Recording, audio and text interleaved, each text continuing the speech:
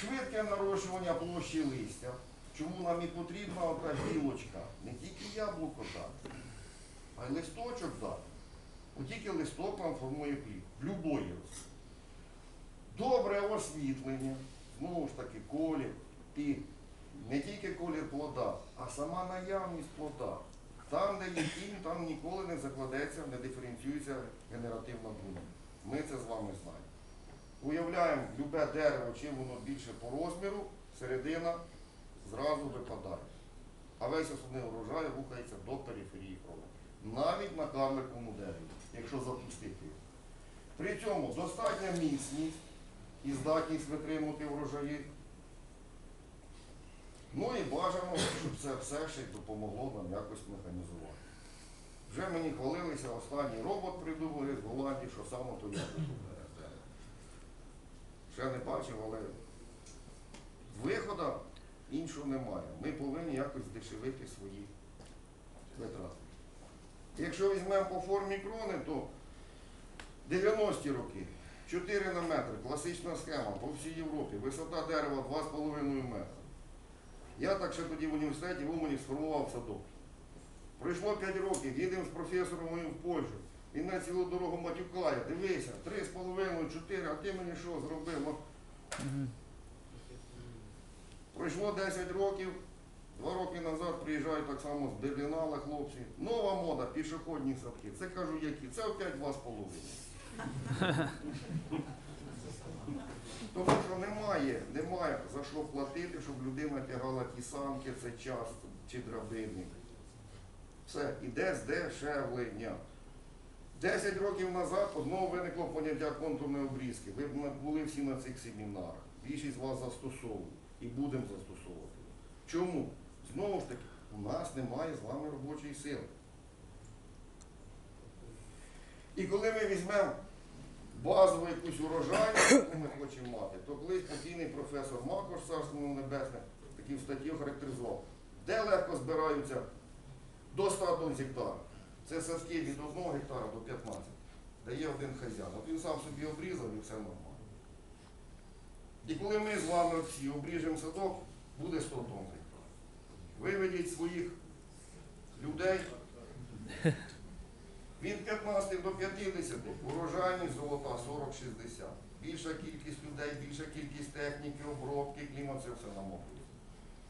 Ну і наші монстри за 100 гектарів і більше, їхня урожайність там, ну, потолок від 20, менше, мені кажеться, вже не варто заводитися. І от до тих 50. Але вони свої гроші беруть за рахунок об'єму. Об'єм. Але ми з вами повинні кожен визначити. Знову ж таки, що ганяти трактори по площі 400 гектарів, чи може посадити 50 з якоюсь іншою схемою садіння і брати той самий врожай. Ну, чуть менше, але. Гроші ті самі. Гроші ті самі, абсолютно правильно. В кінці воно, якщо відняти там-там затрати, то сходиться на те саме. І тут я кажу, всі можуть розійтися. Основна базова форма крові. Струнке веретено. Два з половиною, ну знову ж таки, три з половиною може бути. Тим більше, що за останні три роки мені подобається, вже почали платформи в нас робити, самі з прицепів, купувати. Обрізування йде з платформ, уборка йде з платформ, все пришвидшується. Стандартне, висота штамбу, основа, отой наш стіл, ширина в нижній частині від 1 до 2,5 залежно від схеми садіння. Такі дерева добре знаєте. От молоде, сформоване, гарний саджанець, зразу яблуко положило гілку, змінило полярність, закладається плодова деревина. Оце те яблуко чи дерево, з якого можна брати 16-20 кг. Чим його забирали так Що забрали? Висока. високо? Зробили так високо, 4 метри. Та це я близько стояв з фотоапаратом. У мене поганий фотоапарат. Ну і от дев'ятка закопана в Херсоні, ну айдаре, з якої, до речі, збирали по 40-50 тонн. Ну для айдаре на неділю. Ну тут схема 4,5 на 2,5. Це. Це не білозерка. Та там не могли ми тоді Віктора Петровича передбороти ніяк. І друга форма, яку я бачу, вісип подібне. Ну, Це більшості французька він, будь ласка, основа та сама, але бажано підбирати слабкорожні сорти. При однаковій висоті дерева змінюється, ущільнюється відстань між деревами. Відповідно буде зростати наша врожай. І останні два роки, особливо з Італії, от нові форми, там, гюйот, двохплечий кордон, трьохплечий кордон. Дзвонить до мене якийсь садівник, каже, ну такий хороший. І каже, от на вашу думку, яка сама краща форма крони для черешні? Вісеподібна, іспанський кущ чи уфо? Я кажу, без різниці. Ніякої, воно мовчить. Я вважаю, що ти спеціаліст такого рівня, що можеш сформувати легко любу з цих форм. Давай починати ззаду. Став собі, що ти хочеш мати з цих дерев, і якого воно буде калібра. І кожну цю урожайність можна зробити при всіх тих формах крові. Але затрати на формування того УФО, шпалера, специфічна, куча підв'язки, 5, 10, 20. То сама простіша технологія, і знову ж таки, якщо ти садиш 2 гектари, роби УФО, ти зробиш і все. Якщо ти садиш 40 гектарів, і в тебе там будуть люди працювати, УФО тобі не поможе. Це буде не те УФО. Вісеподібна дрова. Для слабкорослих сортів, особливо типу делішесів, вони скурові. І чому вони війшли в моду знову? Ну, ми, звісно, німцям подякували за глостер. Ми 20 років вчили з ним працювати, навчилися. Хороший дуже сорт для обрізки. Ну і в кінці отримуємо хорошу плодову стіну, якою знову беремо той самий врожай. Банальний цикл, трьохрічний цикл плодоношення яблук. Ми його всі добре знаємо. Конкретна ситуація. У 2018 році хто проріджував плоди? Ніхто. Але урожайність зашкалила. Зашкалила. Потім були люди, які кажуть, які осінню не вчасно зібрали, або навіть не струсили. І в результаті в сезоні 19 року при обрізуванні вони що на автоматі робили, бачачи, що бруньків немає, лишали більше його. І в результаті, навіть якщо отримали врожай, то врожай був низької. І знову ж та лишня гілка, яка залишена, а брунька де завжди є? В верхній частині крони. Вона знову ж таки накривала низ, і низ у них і зараз. Проблема побічна неполивних садків. І таких у мене є три, я з ними працюю. Минулорічна спека наскільки зажарила ці дерева, що урожай ще хлопці зняли, от Бог їх милував, яблучко до дев'ятки дотягнуло. Зато самі вже в листопаді дзвонять, приїжджайте, бо я бруньки не бачу, а де ж їх побачиш? Коли йшов налив яблука, була нестача води, диференціація просто припинилася. І в цих садках, наприклад, коли ми запускали обрізування в грудні місяці, я шикував обрізчиків, з якими там працюю енну кількість років, кажу, там, дівчата, хлопці, в цьому році обрізка буде проти всіх правил, лишаємо все, де бачимо. Бо ці садки не поливні, а раз не поливні, значить вони на 106 або М26. І кажу, якщо вона у нас один рік постоїть пуста, то далі можна вже не різати. Те дерево як щоб його стримати тоді якимось хімічними способами, бо механічними не можна, знову ж таки води. То це вже обійдеться в такі кошти, щоб не потрібно тих яблук відвозити. Цей цикл, в який ми заходимо, він мусить бути щороку. І знову ж таки, ми знаємо, що ті сорти, які ми перераховували, 3-4 самих основних, так вони здатні нам в'язати плодову ґрунту вже не класично на другий рік, а навіть при гарному догляді і в перший рік. Тобто одно-двохрічна циклічність, але це при певній довжині прироста і при нормальному догляді. Скільки нам того прироста потрібно? Це знову ж таки прописні істини. Якщо ми маємо на півкарлику піщепу, це 40-60 см. Середньостатистично. Для ММ106 і для М26. Карликова піщепа 20-30. Звідси виникає питання, як ви відноситесь до обрізування на клей? Абсолютно адекватно. Як казав людина, яка його найбільш пропагує, Пітер Ван Аркель, якого ви бачили слухали, каже, друзі, от я тако собі придумав, розробив таку технологію. Які питання? Ви бачите, що є результат? Хочете працювати? Беріть і працюйте. Ну коли ви починаєте, отут різаємо як Пітер, а тут ріжу як я сам, а потім придивляєте мені претензії. Дійсно працює, дійсно працює. І до чого я веду? Коли отут приріст вискакує більше, значить вже є проблема з деревом. Або воно перегодоване, або, або воно недовантажене. Тому що плід це найкращий регулятор росту. А ми давайте його вкоротимо. Не можна. Крім перших років, як я вважаю, де ми формуємо дерево, ми там можемо скорочувати однорічні пагони, знаючи для чого викликати те галуження, то додатковий ріст. Тут або він у нас лишається при такій довжині, або він у нас вилітає. Навіть якщо тут буде 80, легенько прижив верхушку, не поможе. По мірі росту пагона, коли він витягується дуже сильно, внизу утворюються сплячі бруньки. І по тому трьохрічному циклу, який ми писали, зона плодоношення все одно стягується на край. Якщо ви його вкоротите, ви все одно заберете зону з тими бруньками, де повинні сформуватись генеративні. А ця, яка була оголена, хай останеться. Звідти можуть тільки ще жировик вирости. Дівчатки там ніколи не утворюються. Скільки їх потрібно мати? Трьохрічний цикл. Ми можемо мати по двох, трьох, ну і звичайно чотири. Які від плоду можуть. Від віку, розміру і навантаження плодами.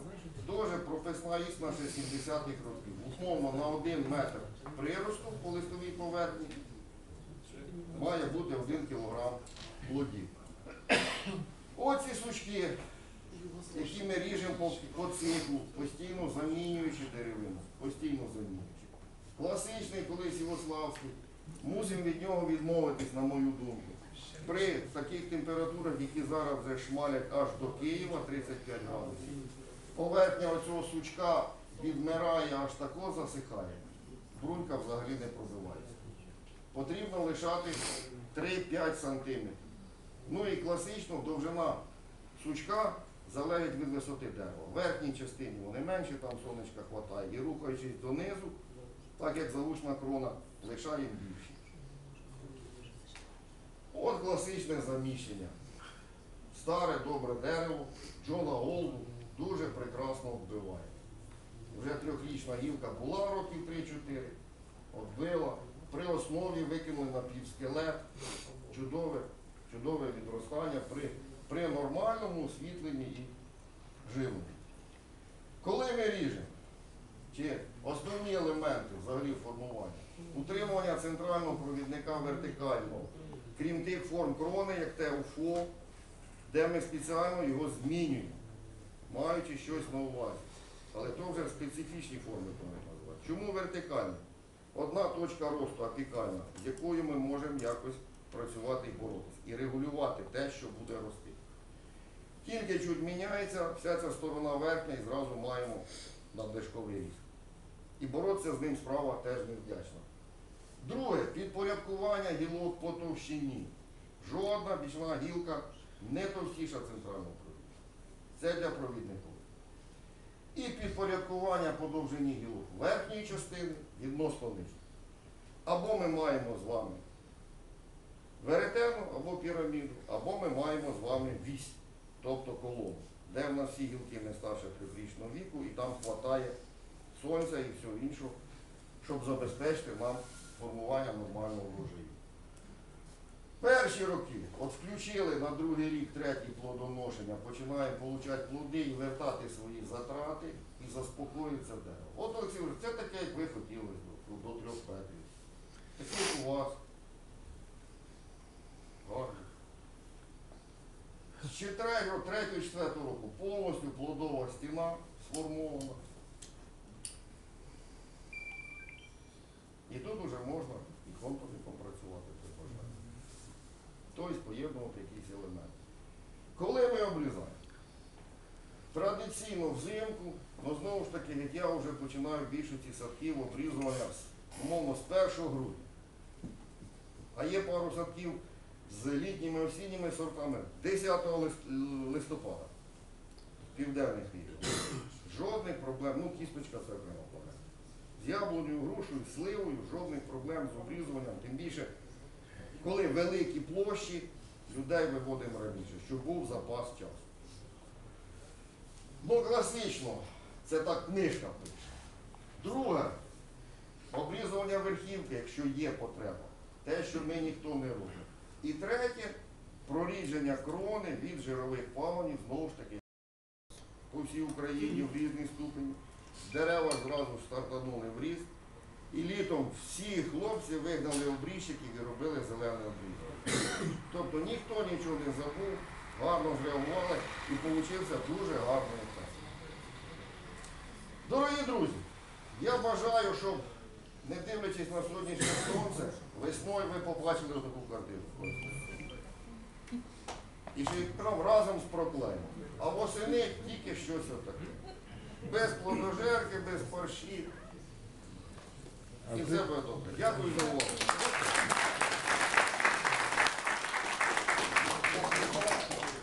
Хочу доповнити пару слов по обрізки. А, про шерман я думаю. Що? Про шерман? Ні, ні, ні, ні, ні. По обрізки. Там е, затирались кісточкові. На моє глибоке переконання, всі кісточкові треба різати літом. Максимум закінчувати треба до середини августа місяця. Це, якщо ви хочете нормальні кісточкові.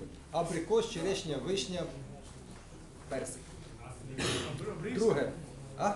Обрізку? Обрізку, так. Ну от у нас рекомендують починати з кінця августа. Я кажу, Щоб не получити літом до кінця. Так, тут саме головне, чому? Саме головне в цій ситуації не допустіть повторний рост Да. пагонів. І підмерзання. Так, і підмерзання. Тому що, хоча, якщо взяти абрикос, то друга волна росту більш зимостійкіша, це по абрикосу, чим перша. І вона пізніше цвіте. Це той один прийом. Це для того, щоб зробити. І ще одне хотів би сказати. По освітленню крони. Колеги, в вашій зоні, ви не поляки, ви не голландці. У вас світла скільки, не робіть це освітлення, тому що буде одразу загар. Яблука будуть в загарі. Вам наоборот треба листям закрити, тому що е, в кого там більше сонця, от були в Португалії, вони оприскують глиною білою для того, щоб каоліном не був. І в вашій зоні, хай він буде в листі, потім ви приїдете, щоб не було загару. Це найбільша проблема. Якщо в Вінниці, там десь е, в Київській області треба освітлити, щоб більше сонця було, вас сонця цього достатньо. Це до того, що кожна зона потребує сонця. Якщо є до мене запитання до Сачу, до Зозулі, будь ласка, задавайте, якщо ні, підемо обідати. Я ще хотів би сказати об'яву. У нас 25-го в Чернівцях, 27-го в Вінниці буде семінар, але ми на той семінар запрошуємо Пітера Ван Аркера. Він буде десь півтори години говорити в залі, а потім їдемо в сад, і там він показує обрізку, формування. Хто хоче під'їхати, під'їжджайте. А в агроталоні е, в Багнаті село Сутиська, це в Вінниці буде 27 Під'їжджайте, в нас ми будемо раді знову побачити вам. Послухайте цього знаменитого голландця. Дорого бере, але ми Сінгента пішли на це, щоб е, вас задовольнити. це. Послухайте, що спитати. Тепер обідайте. Вас дуже всі чекають на обід, бо хвилюються.